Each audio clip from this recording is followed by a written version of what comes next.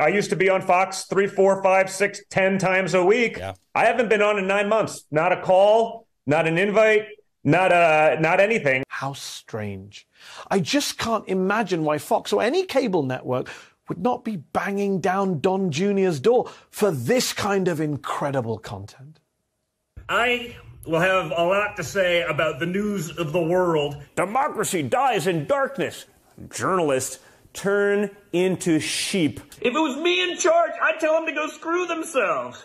We must push our narrative. We must brainwash you. Where are the feminists? Where are the women? How is it that Donald Trump Jr. is a leading feminist? Imagine if it was Don Jr. smoking crack with prostitutes. This is one of the dumbest things ever. Did you know Donald Trump's first wife once wrote that Trump was hesitant to name his firstborn son after himself, saying, quote, what if he's a loser?